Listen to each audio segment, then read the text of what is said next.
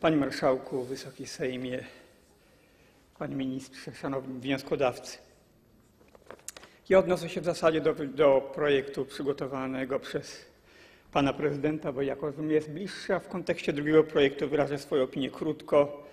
Oczywiście trzeba utrzymać pewne zdobycie demokracji. Okręgi jednomandatowe są istotną, istotną częścią polskiej demokracji. To się generalnie sprawdziło, dlatego próba tego wykreślenia moim zdaniem nie znajduje uzasadnienia. Podobnie pewien system głosowania. Fale polityczne, koniunktura będzie się zmieniała, system Donta generalnie się sprawdził i tutaj próba naruszenia tego mechanizmu po prostu nie świadczy o szlachetnych intencjach i to trzeba wyraźnie powiedzieć. Do przedstawicieli pana prezydenta będę prosił o odpowiedzi na piśmie, jeżeli to jest możliwe, bo inne obowiązki poselskie mnie już za chwilę wzywają.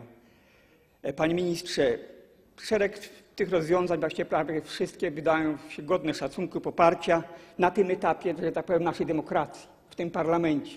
Ale moje pytania jakby wybiegają nieco dalej, bo trzeba rzeczywiście naprawić zło, które się wylało. Kodeks wyborczy w dużym stopniu się jednak nie sprawdził, trzeba to wyraźnie powiedzieć. W dużym stopniu.